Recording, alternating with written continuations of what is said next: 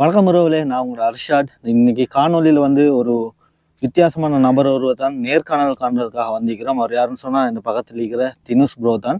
இவர் வந்து இலங்கையிலிருந்து சில நாடுகளுக்கு வந்து பயணங்களை மேற்கொண்டு அந்த நாடுகளில் எடுக்கப்பட்ட அற்புதமான வீடியோக்களை வந்து அவர் யூடியூப் சேனலில் போட்டிருக்கிறார். அதை நான் வந்து சைடில் போடுறேன்.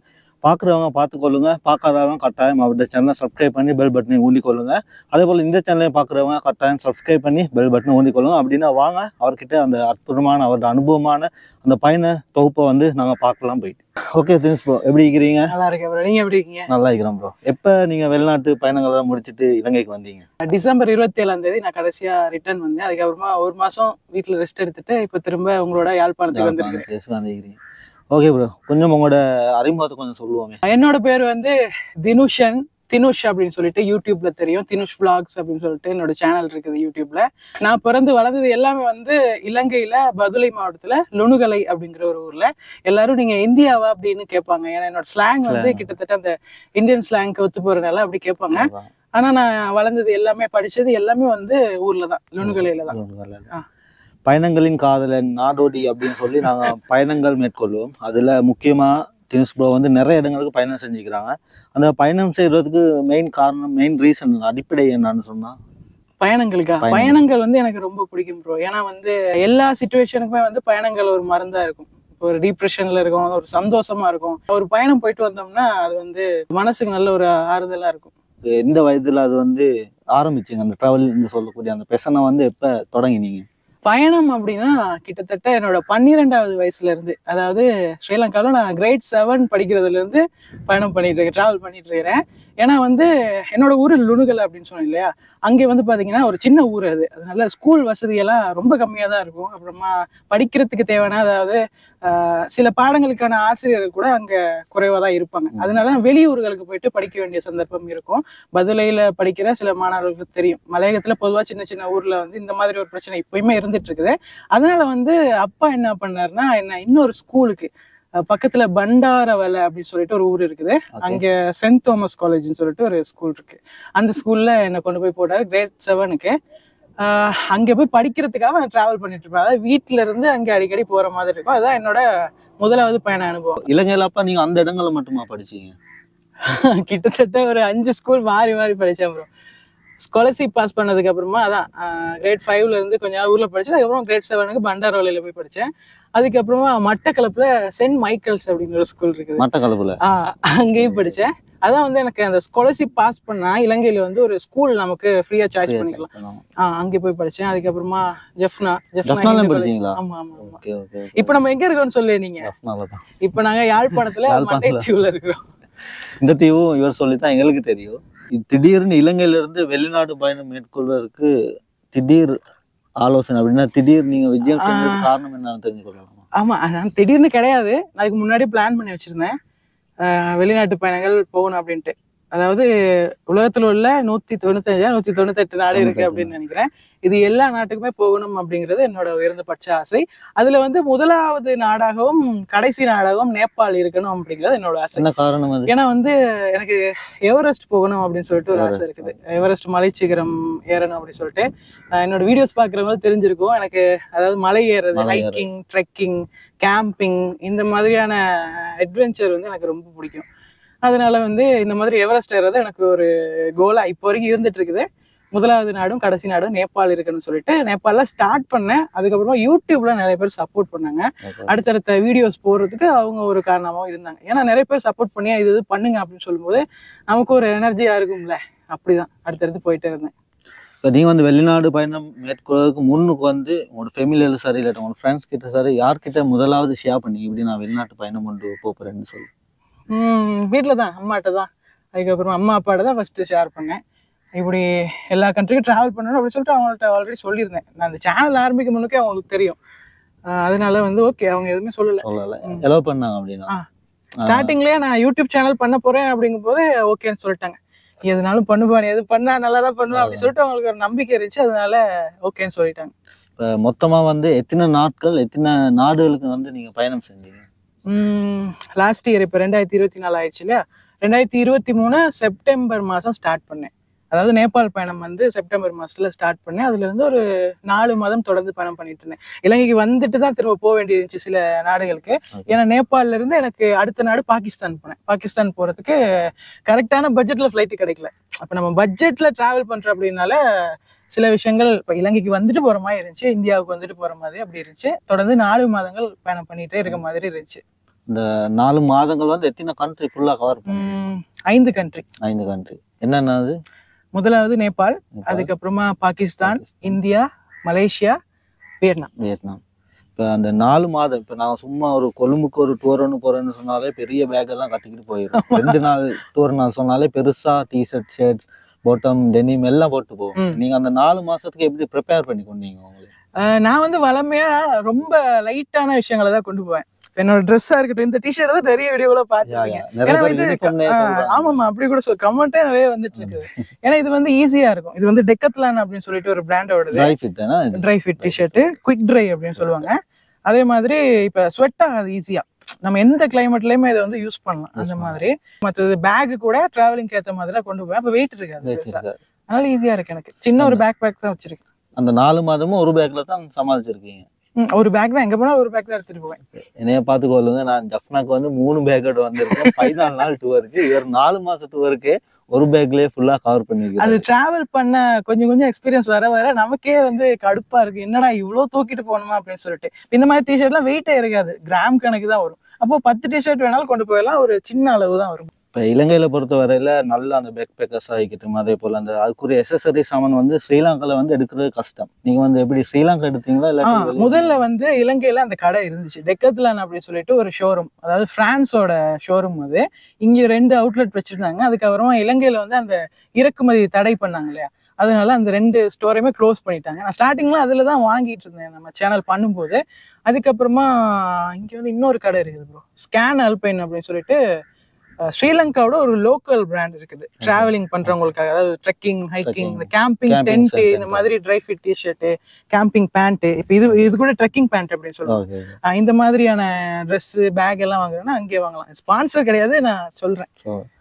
அது ப்ரைசஸ் வந்து ரொம்ப ஹையா இருக்கு. இப்ப நிறைய பேர்ட இதுதான் சும்மா நான் சொல்லுவேன் டென் தௌசண்ட்க்கு மேல நாங்க பர்ச்சேஸ் பண்றோம்னு சொன்னா. நிறைய நாள் யூஸ் பண்ணல அப்படின்லாம் நிறைய பேர். பயப்படுறாங்க. இப்ப நீங்க அதை யூஸ் பண்ணிக்கிறீங்க அது எப்படி வாரண்டி எல்லாம் மீக்குதா நல்லா நல்லா இருக்கும் மெயினா அந்த மாதிரி பிராண்ட் யூஸ் பண்ணோம்னா அதான் அந்த விலைக்கு ஏத்த மாதிரி இருக்கும். இப்போ இந்த டிஷர்ட்லாம் கிட்டத்தட்ட இந்தியால வாங்கினேன் நான் இது. அங்கே கம்மியா தான் இருக்குது. அது நம்ம நாட்டோட ஒப்பிடும்போது ஒரு ஐயாயிரம் ரூபாய் கிட்ட ஒரு வருது. டிஷர்ட் ரெண்டு டிஷர்ட் வாங்கிடலாம். இங்க உள்ள இதுல. இந்த பேண்ட் மட்டும் கிட்டத்தட்ட இது மலேசியால வாங்கினேன் ரீசெண்டா அப்படி போற போற கண்ட்ரில அந்த ஒரு- டெக்கத்லான் ஷோரூம் போயிட்டு அதாவது ஞாபகார்த்தமா வாங்கிடுவேன். வேற எதுவும் பெருசா வாங்குறது கிடையாது. இந்த. மாதிரி ட்ரெஸ் அப்படி எதுவும் வாங்கிட்டேன்னா தொடர்ந்து யூஸ் பண்ணும்போது அந்த கண்ட்ரி ஞாபகம் இல்லை இந்த பேண்ட்டை பார்த்தாலே எனக்கு மலேசியா ஞாபகம் வரும். அந்த மாதிரி. நீங்க வந்து வெளிநாடு பயணம் மேற்கொள்ள கூட மேற் பண்ண போக்குல வந்து ஸ்ரீலங்கா ஏர்போர்ட்ல வந்து என்னவாலும் எதிர்ப்புகள்? நாலு ஆஹ் கஷ்டங்கள்? ஆனால் அப்படி எதுவுமே எனக்கு பெருசாக இருக்கல. ஸ்டார்டிங்கில் சொல்கிறேன் நிறைய பேரோட வீடியோ பார்த்துருக்கேன். ஸ்டார்டில் முதல் கண்ட்ரி போகும்போது நிறைய கேள்விகள் கேட்பாங்க அந்த மாதிரிலாம் சொல்லுவாங்க. ஆனால் எனக்கு அப்படி எதுவுமே நடக்கல. நேபாள் போகும்போது ரொம்ப ஸ்மூத்தாக இருந்துச்சு. எல்லா ப்ராசஸுமே வந்து ஏர்போர்ட்டில் எதுவுமே கேட்கல. நான் எல்லாமே கரெக்டாக ப்ரிப்பேர் பண்ணிட்டு போனேன்னா அதாவது நம்ம இன்னொரு கண்ட்ரிக்கு போகும்போது வந்து ஃப்ளைட் டிக்கெட் கண்டிப்பாக இருக்கணும். அதுக்கப்புறமா விசா பாஸ்போர்ட் இது கண்டிப்பாக இருக்கணும். அங்கே போய் நம்ம ஸ்டே பண்றதுக்கான அந்த ஸ்டே புக்கிங் இருக்கணும் புக்கிங் வந்து நம்ம பிரிண்ட் அவுட்டாக எடுத்து கையில் வச்சிருந்தோம்னா எந்த பிரச்சனையும் கிடையாது. அது பெருசாக கேட்க மாட்டாங்க. நம்ம ஃபோனில் கூட காட்டிடலாம். ஆனால் சில ஏர்போர்ட்ல கேட்பாங்க. இலங்கை ஏர்போர்ட்ல எனக்கு கேட்டாங்க. நான் வச்சிருந்தேன் கரெக்டாக அதனால எந்த பிரச்சனையும் இல்லை. அப்புறமா நம்ம அங்கே போய் செலவழிக்கிறதுக்கு ஒரு தொகை பணம் கையில். எவ்வளவு நேபாள் போகும்போதெல்லாம் என்கிட்ட கேட்கவே இல்லை. அதை பத்தி எதுவுமே கேட்கல. அவ்வளவுதான்.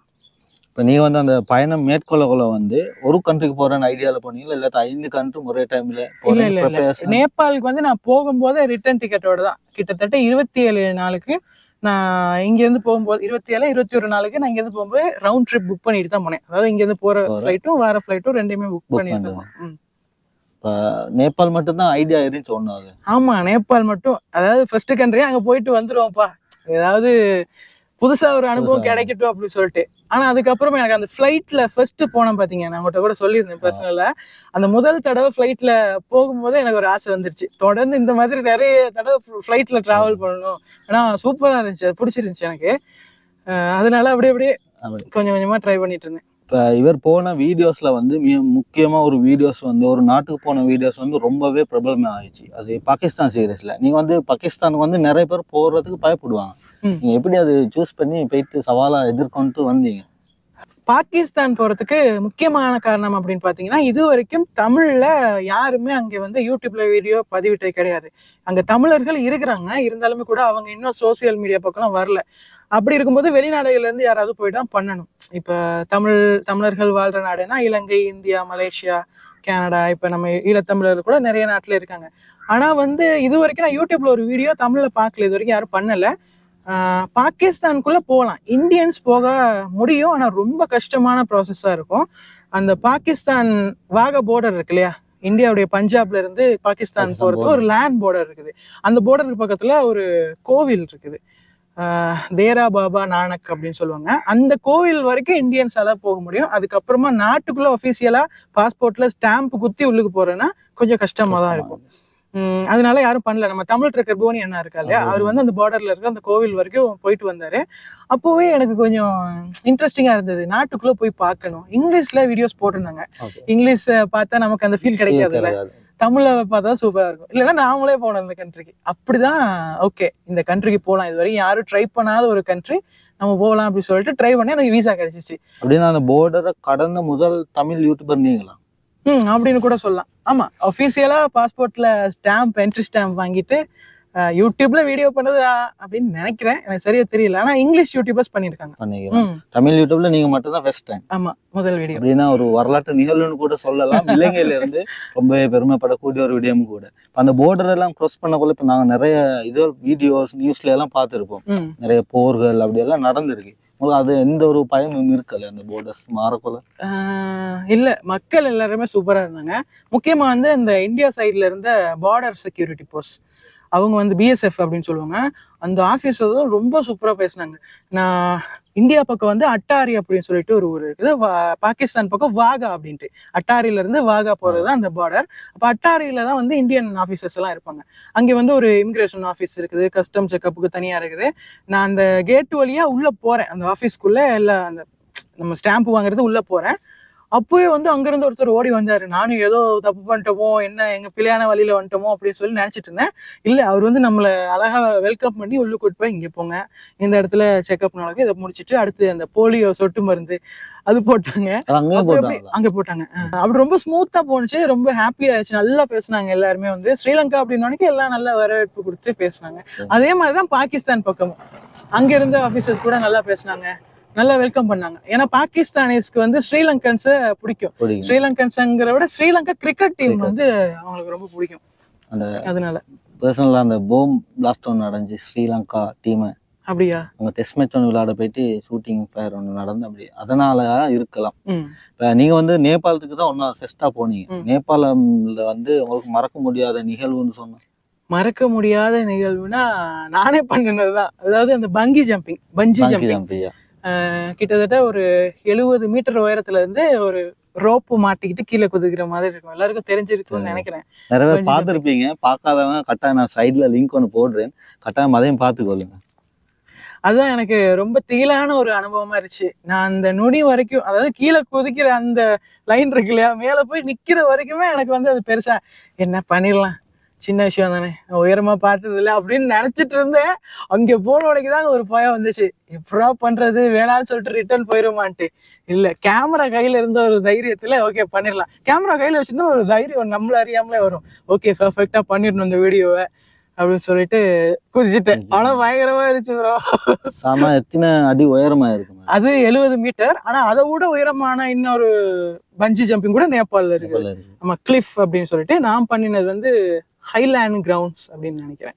போக்கராவில் பண்ணியிருந்தேன். நேபாளத்துல இருந்து போன நாடு வந்து பாகிஸ்தான். நேபாள் போயிட்டு நான் ஸ்ரீலங்காவுக்கு ரிட்டர்ன் வந்துட்டேன் இல்லையா? திரும்ப தான் பாகிஸ்தான் போனேன். விசா கிடைச்சிச்சு ஆனா ரிட்டர்ன் ஸ்ரீலங்காவுக்கு ஃப்ளைட் போட்டனால அது கேன்சல் பண்ண முடியல. அதனால ரிட்டர்ன் ஸ்ரீலங்கா வந்துட்டு அதுக்கப்புறமா தான் போக வேண்டி இருந்துச்சு பாகிஸ்தான் உள்ள என்டர் பண்றதுக்கு எனக்கு ரெண்டு ஆப்ஷன் இருந்துச்சு.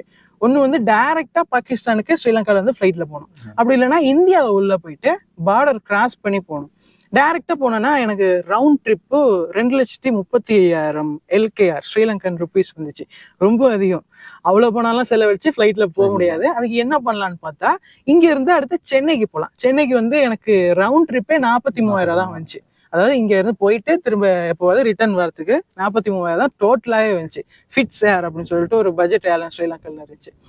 அப்போ அந்த ஃப்ளைட்ல போயிட்டு அதுக்கப்புறமா சென்னையில இருந்து மும்பைக்கு இன்னொரு லோக்கல் ஃப்ளைட்ல போனேன் இண்டிகோல போயிட்டு. மும்பையில இருந்து பஞ்சாபுடைய ஒரு நகரம் அம்ரிட்சர். அம்ரிட்சருக்கு இன்னொரு ஃப்ளைட்ல போயிட்டு பார்டர் கிராஸ் பண்ணி போனேன்.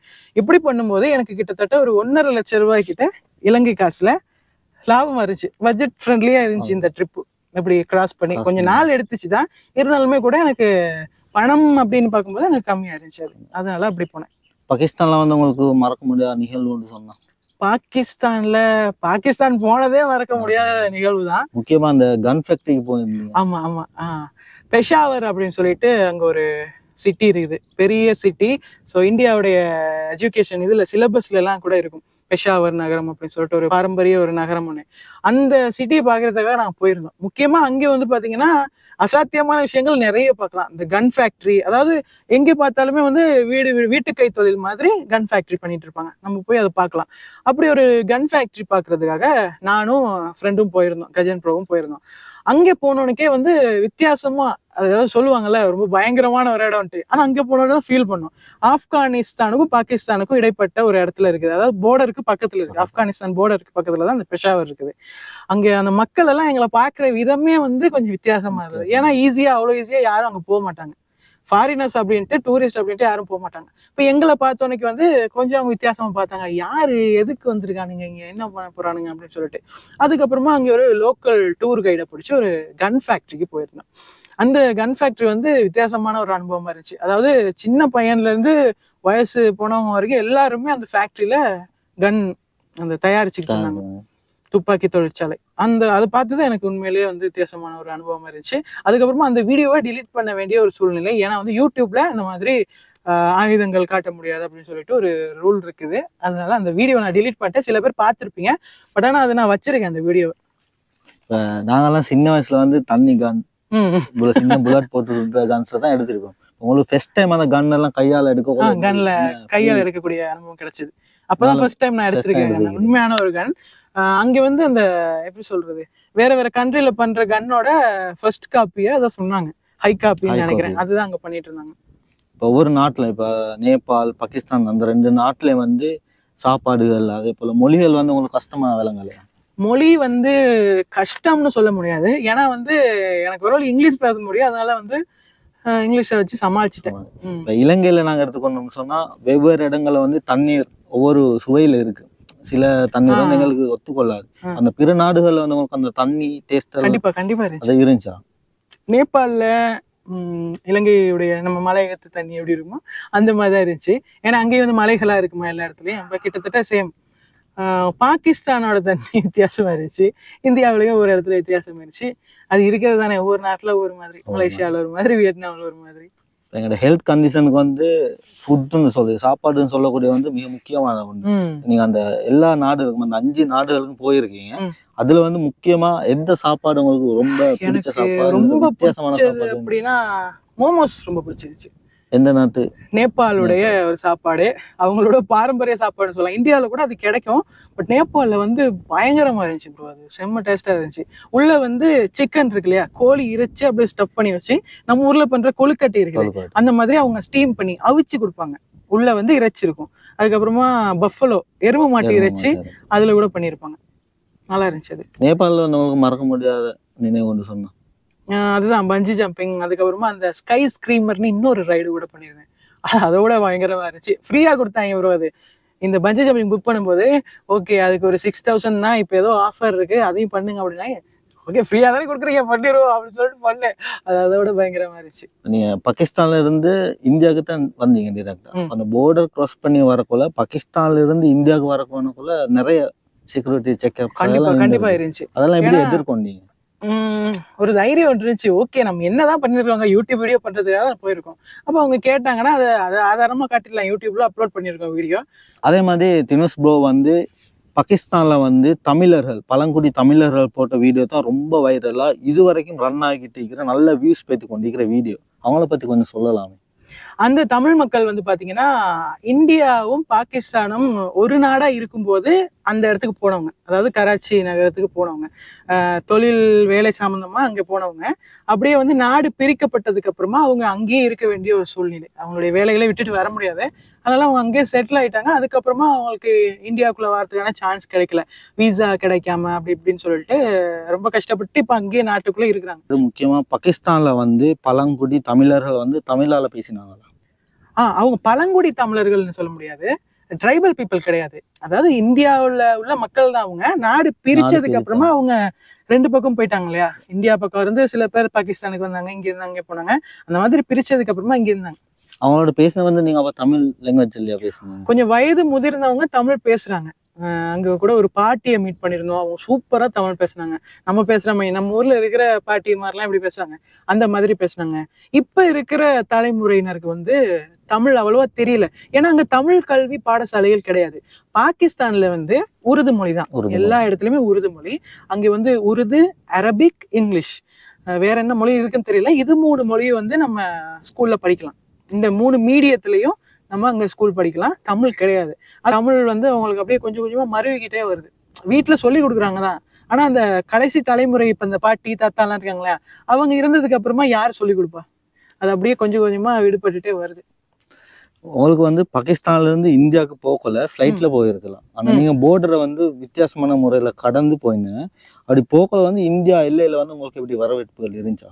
உண்மையா வந்து இந்தியால இருந்து பாகிஸ்தானுக்கோ பாகிஸ்தான்ல இருந்து இந்தியாவுக்கோ ஃபிளைட் கிடையாது. ஃப்ளைட் இல்ல. ஆமா.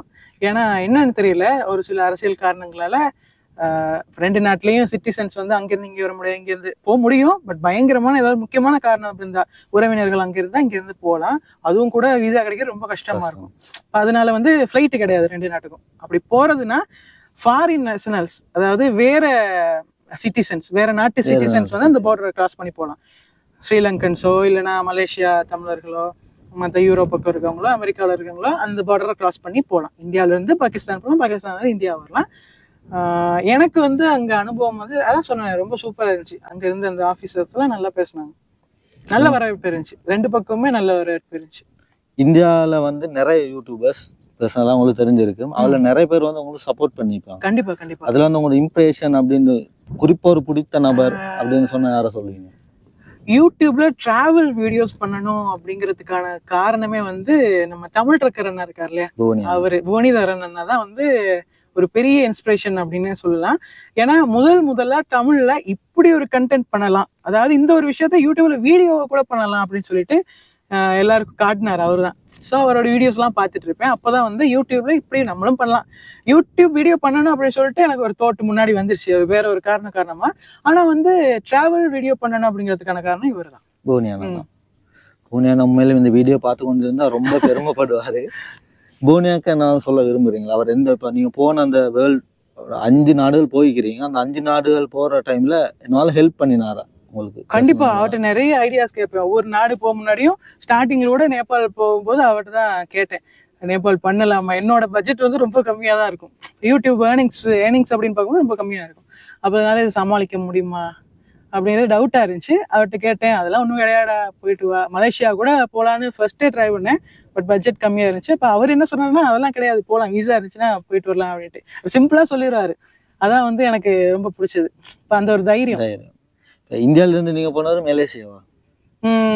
இருந்து ஸ்ரீலங்கா வந்துட்டு அடுத்து மலேசியா ரெண்டு கண்ட்ரி மலேசியால வந்து என்னால அனுபவமான விடயங்கள் மறக்க முடியாது. மலேசியா வந்து ரொம்ப ஒரு அபிவிருத்தி அடைஞ்ச நாடா இருந்துச்சு. அதுதான் எனக்கு வித்தியாசமா இருந்துச்சு. இது வரைக்கும் நான் பார்த்த சூழலை விட இந்த மூணு நாட்டை விட நல்ல அபிவிருத்தி அடைஞ்ச ஒரு நிலையில இருந்துச்சு. மலேசியால இருந்து திருப்பி எங்க போனீங்க? மலேசியா சுத்தி பார்த்துட்டு மலேசியாவுல லங்காவி அப்படிங்கிற ஒரு ஐலாண்டுக்கு போயிருந்தோம். தமிழர்கள் வாழ்ற ஒரு ஏரியா திரும்ப பெனாங் வந்திருந்தேன். கேஎல் கோலாலம்பூர் சுத்தி பார்த்துட்டு அப்புறமா வியட்நாம் அப்படிங்கிற ஒரு நாட்டு பக்கத்துல தான் இருக்குது. அங்கே போயிருந்தேன். கடைசியா வியட்நாம்ல இருந்து தான் வியட்நாம்ல. தான் கடைசியா வியட்நாம்ல வந்து எப்படி இருந்துச்சு உங்களுக்கு அந்த நாடுகள்? ஆஹ் அதுவும் வித்தியாசமான ஒரு நாடுதான் ப்ரோ அங்க இருக்கிற சாப்பாடெல்லாம் நம்ம இதுவரையும் சாப்பிடாத எல்லா சாப்பாடும் அங்க சாப்பிடுவாங்க. மலேசியாவில் வந்து தவளை ட்ரை பண்ணியிருந்தேன். அதுவும் சூப்பரா இருந்துச்சு. அப்படின்னா ஆஹ், தவளை எல்லாம் எப்படி சாப்பிடுறது அப்படிங்கிற ஒரு மைண்ட் செட் எனக்கு இருந்துச்சு. ஆனா அங்க போய் அந்த இதை பார்த்தப்பறமா ஓகே இது என்ன சிக்கன் மாதிரி தானே இருக்கு அப்படின்ட்டு ட்ரை பண்ணி பார்த்தேன். ஆனா அந்த கேப்சி சிக்கன் மாதிரி தான் இருந்துச்சு. ஆஹ் அந்த ஃப்ரை பண்ண சிக்கன் மாதிரி சேம் அதே டேஸ்ட் தான் இருந்துச்சு. அஞ்சு நாடுகள்ல வந்து விதவிதமான சாப்பாடு வகைகள் பழக்க வழக்கங்கள் அங்க நாட்டு மக்கள் அதே போல அந்த நாட்டுல வந்து வெளியில இருந்து வந்த நிறைய நபர்களை மீட் பண்ணிப்பீங்க. அப்படி என்னவாலும் மறக்க முடியாத நபர்கள். ஆ நிறைய பேர் இருக்காங்க ப்ரோ நான் வந்து ஹாஸ்டல்ஸ்ல தான் அதிகமா டிராவல் பண்ணுவேன். பட்ஜெட்டா டிராவல் பண்ணணும் அப்படிங்கிறதுக்காக டார்மெண்ட்ரி ரூம்ஸ் கேள்விப்பட்டிருப்பீங்களே? அதாவது பங்க் பெட்ஸ் மாதிரி. இருக்கும். தனியா ரூம் எடுக்கிறத விட அந்த மாதிரி இடங்களை ஸ்டே பண்ணும்போது செலவு ரொம்ப கம்மியா இருக்கும். இப்போ ஆயிரம் ரூபா வருதுன்னா அங்கே தங்கும்போது ஒரு முந்நூறுரூவா நானூறுரூவா அப்படிதான் வரும். அப்போ அங்க வந்து என்னோட இன்னும் நிறைய டிராவலர்ஸ் ஸ்டே பண்ணுவாங்க. வெவ்வேறு நாடுகள்ல இருந்து தனித்தனியா வர சோலோ டிராவலர்ஸ் நிறைய பேரை மீட் பண்ணுவேன். அவங்களுடைய பயண அனுபவங்கள்லாம் கேட்கும்போது ரொம்ப சுவாரஸ்யமா இருக்கும். அதுக்கப்புறமா அவங்க அசாத்தியமான நிறைய இடங்கள் கூட போயிருப்பாங்க. நேபாள்ல எல்லாம் வந்து பாத்தீங்கன்னா ட்ரெக்கிங் போறதுக்காகவே வருவாங்க. நேபாள்ல வந்து முக்கியமான எட்டு மலைகள் இருக்குது. உலகத்துல முக்கியமான அன்னபூர்ணா எவரெஸ்ட் கைலாசா அப்புறம் அந்த மாதிரி நிறைய இருக்குது. இப்போ இதுல எல்லாம் வந்து ட்ரெக்கிங் பண்ணணும் அப்படிங்கிற ஆசையில நிறைய பேர் யூரோப்ல இருந்து அமெரிக்கால இருந்து எல்லாம் வருவாங்க. அவங்களோட அந்த பயண அனுபவங்கள்லாம் கேட்கும்போது ரொம்ப சூப்பரா இருக்கும். ஓகே ப்ரோ அடுத்த கேள்விதான். இது வந்து நிறைய பேர் உங்கள்ட்ட கேட்க சொன்னாங்க. கேட்கறது சரியோ பிள்ளையோ தெரியா இருந்தாலும் கேட்டுரும். நீங்க யூடியூப்ல வந்து பத்து லட்சத்துக்கு மேல சம்பாதிச்சு கொண்டிருக்கிறீங்கன்னு ஒரு கதை ஒன்று போயிட்டு கொண்டிருக்குது. கேட்கறதுக்கு? நல்லா தான் இருக்குது. அவ்வளோ சம்பாரிச்சா இன்னும் யூரோப் பக்கம் அமெரிக்கா பக்கம்லாம் டிராவல் பண்ணலாம். அப்படிலாம் கிடையாது ரொம்ப கம்மியா தான் இருக்கு அடுத்த ப்ரோ வந்து இப்ப நானும் என்ன உட்பட நானும் இப்ப ஸ்ரீலங்கா ஃபுல்லா போயிட்டு வந்துட்டேன். என் அடுத்த டாக்கெட் வந்து பொறியும் போகணும். இப்ப நான் அது நிறைய பேரை பார்த்து கொண்டிருக்கிறேன். எங்க புவனி அண்ணா இருக்கட்டும் மோலையா இருக்கட்டும் கஜன் ப்ரோவா இருக்கட்டும் அப்படி இங்க ஸ்ரீலங்கால இருந்து வெளியே போயிட்டு வரவங்கள கொஞ்சம் நான் அப்படி ஃபாலோ பண்ணி கொண்டிருக்கிறேன். என்னை மாதிரி இன்னும் நிறைய பேர் இருக்கிறாங்க. நிறைய பேருக்கு அந்த சும்மா ஸ்ரீலங்கா உள்ளுக்கு போறதுக்கு எங்களுக்கு பட்ஜெட் சரியா பிளான் பண்ணி போக தெரியாது. நீங்களாம் அந்த இதுல போயிட்டு சரியா பட்ஜெட்ல ட்ராவல் பண்ணிட்டு வந்துட்டீங்க. அப்படி ஈக்கிற அந்த இளைஞர்களுக்கு என்ன சொல்ல விரும்புறீங்க? போ வெளிநாடு ட்ரிப் பண்ண போறதுக்கு பட்ஜெட்ல ட்ரிப் பண்ண இருக்கிறவங்களுக்கு எப்படி படிமுறைகள்? அதான். முக்கியமா நீங்க ஸ்டே பண்ணும்போது ஹாஸ்டல்ஸ்ல ஸ்டே பண்ணலாம். அதாவது நான் சொன்ன மாதிரி இந்த பட்ஜெட் பங்க் பெட்ஸ் உள்ள. மாதிரியான ஹாஸ்டல்ஸ்ல ஸ்டே பண்ணலாம். அந்த மாதிரி ஹாஸ்டல்ஸை வந்து செலக்ட் பண்ணீங்கன்னா உங்களுக்கு தங்குற செலவு கம்மியாகும். அதே மாதிரி டிராவல் பண்ணும்போது லோக்கல் டிராவல் இருக்கும். இப்போ முக்கியமா வந்து காஷ்மீர் போயிருந்தோம் bro. அங்கே வந்து லோக்கல் ட்ராவல் நம்ம ஹையர் பண்ணிட்டு போனோம்னா கார் டாக்ஸி எல்லாம் ரொம்ப அதிகமாக இருக்கும். ஆயிரத்தி ஐநூறு ரெண்டாயிரம் அந்த மாதிரி இந்திய பணத்தில் கேட்பாங்க. இப்போ நம்ம காசுக்கு பார்க்கும்போது ஒரு முப்பது நாற்பது கிலோமீட்டர் போகிறதுக்கே வந்து பத்தாயிரம் ரூபாய் கிட்டக்க வந்துடும் அப்போ அது ரொம்ப எஃபோர்ட் பண்ண முடியாது அந்த மாதிரி ப்ரைஸ்லாம் எல்லாம் ட்ராவல் பண்ணுறதுக்கு பண்றதுக்கு. அதனால ஷேர் டாக்ஸி அப்படின்னு சொல்லிட்டு இருக்கும் காஷ்மீர்ல எல்லாம். ஐம்பது ரூபா நூறுரூவா அவ்வளோதான் கேட்பாங்க. ஒரு முப்பது நாற்பது கிலோமீட்டர் கூட போயிடலாம். காஷ்மீர்ல வந்து நான் குல்மார்க் அப்படிங்கிற ஒரு இடத்துக்கு போயிருந்தேன். பனி பார்க்கணும் அப்படிங்கிற ஒரு அனுபவத்துக்காக. அங்க வந்து அந்த டாக்ஸி சர்வீஸ் இருக்குது. ஷேர் டாக்ஸி சர்வீஸ் ஸ்ரீநகர்ல இருந்து அங்க போறதுக்கு அதுக்கப்புறமா அந்த இடையில குஞ்சர்னு ஒரு இடம் இருந்துச்சு. ரோட்ல சும்மா நின்னோம்னா நம்ம அந்த டாக்ஸி ஷேர் டாக்ஸில ஏறிக்கலாம். அடுத்து வந்து ப்ரோ நீங்க ஒரு யூடியூபர் ஒரு யூடியூபரோட ஒரு நாடுக்கு பிர- பிரயாணம் ஒன்று மேற்கொள்ளணும்னு சொன்னா யாரை நீங்க சூஸ் பண்ணி கொள்வீங்க கண்டிப்பா போனி அண்ணா. தான் அவரோட ஒரு டிராவல் போகணும் அப்படின்னு ஆசை. அவர் ஆல்ரெடி கேட்டிருந்தாரு. இப்போ ஸ்ரீலங்கா வந்து டைம் தாய்லாந்து போக கேட்டிருந்தாரு. அப்போ அந்த டைம் என்கிட்ட பட்ஜெட் இல்ல கையில. அதனால வந்து என்னால போக முடியல. ஆனா அவரோட ஒரு கண்ட்ரிக்கு டிராவல் பண்ணணும் அப்படிங்கிறது ரொம்ப நாள் ஆசை. பார்க்கலாம் ஃபியூச்சர்ல பூனியண்ணா இந்த வீடியோ பார்த்து கொண்டீங்கன்னா கட்டாயம் இந்த இதை வந்து நோட் பண்ணி கொள்வேன் திருப்பி உங்களோட ட்ராவல் பண்றதுக்கு ஆசையோட ஈக்கிறாரு இந்த பொடியை. ப்ரோ நான் வந்து யூடியூப் பார்த்து காரணம் வந்து நிறைய இருக்கு. அதுல முக்கியமா வந்து ட்ராவல் நான். சின்ன வயசுல இருந்தே ட்ராவல் பண்ணேன். அது என்ன பேஷன் அதே மாதிரி நீங்க வந்து எத்தனையாம் ஆண்டு யூடியூபுக்கு வந்தீங்க? என்ன காரணம்? என்னால ஒரு உங்களோட பெஷனா இல்லாட்டி என்ன ஒரு நோக்கத்துக்காக வந்தீங்களா? ட்ராவலிங் அப்படின்னு பார்க்கும்போது என்னோட ஃபேஷன் தான். யூடியூப்க்கு வர காரணம் வந்து ஆமாம் வேற ஒரு காரணம் தான். ரெண்டாயிரத்தி பதினெட்டாம் ஆண்டு வந்து ஃபேஸ்புக்லேயோ யூடியூப் ஃபேஸ்புக்கில் தான் நினைக்கிறேன். சும்மா அப்படி பார்க்கும்போது ஒரு ஒரு வீடியோ பார்த்தேன். ஸோ அந்த வீடியோ யூடியூபரை வந்து மீட் பண்ணணும் அப்படின்னு சொல்லிட்டு ஒரு தோட் வந்துச்சு அப்போது அப்போ மீட் பண்ணுறேன்னா சும்மா சாதாரணமாக மீட் பண்ண முடியாது. அவங்க இந்தியாவில் உள்ள ஒருத்தவங்க. அப்ப நம்ம வந்து ஏதாவது ஒரு பெரிய லெவல்ல இருக்கணும். ஒரு செலிபிரிட்டி லெவல்ல இருக்கிற ஒரு யூடியூபரை மீட் பண்ணா நம்ம ஒரு ஃபேமஸான யூடியூபரா இருக்கணும். இல்லைன்னா ஏதாவது ஒரு ஃபீல்டுல மீடியா ஃபீல்டுலயோ ஒரு பெரிய ஆளா இருந்தோம்னா மீட் பண்ணலாம் Meet பண்ணலாம். சாதாரணமா. அப்போ வந்து ஓகே நம்மளும் ஒரு யூடியூப் சேனல் ஆரம்பிச்சு அந்த லெவலுக்கு ஏதாவது ட்ரை பண்ணி ரீச் ஆயிட்டோம்னா அவங்களோட சாதாரணமா பேசலாமே அப்படி ஒரு ஐடியா வந்துச்சு. அதுக்கப்புறம் ஒரு வருஷத்துக்கு அப்புறமா. அப்போ வந்து நான் மட்டக்களப்புல படிச்சிட்டு இருந்தேன். சென்ட் மைக்கேல் ஸ்கூல்லன்னு சொன்னேன்ல அங்க வந்து ஏ லெவல் கொஞ்ச நாள் படிச்சிட்டு இருந்தேன். அதுக்கப்புறமா எக்ஸாம்லாம் எழுதி முடிச்சிட்டு தான் இந்த சேனல் ஸ்டார்ட் பண்ணேன். ரெண்டாயிரத்தி பத்தொன்பதாம் ஆண்டு. டிராவலிங் தான் யூடியூப்ல பண்ணணும் அப்படிங்கிறது காரணம் வந்து அது பேஷன் டிராவலிங் எனக்கு ரொம்ப பிடிக்கும். ஓகே ப்ரோ நீங்க வந்து அந்த அஞ்சு நாடுகளுக்கு விஜயம் செஞ்சீங்க. அந்த அஞ்சு நாட்டுல வந்து மிக முக்கியமா ஐந்து நாடுகள் வாழ்ற தமிழ் பேசக்கூடிய மக்களோட வீடியோஸ் தான் நிறைய போட்டிருந்தீங்க. அதே போல கோவில்கள் போட்டிருந்தீங்க. ரெண்டு நாள் காரணங்கள் இருக்கா? முக்கியமான காரணம்னா நான் போற பக்கம் எல்லாம் தமிழ் மக்கள் இருக்கிறாங்க. பாகிஸ்தான்ல வந்து அதான் நான் சொன்ன மாதிரி அந்த காலனி இருந்துச்சு. இந்தியாவுல இருந்து பிரிஞ்ச மக்கள் அங்க இருக்கிறாங்க. அதுக்கப்புறமா மலேசியா மலேசியா ஃபுல்லாவே இப்ப இலங்கையில எப்படி தமிழர்கள் இருக்காங்க அந்த மாதிரி அங்கேயும் இருக்கிறாங்க.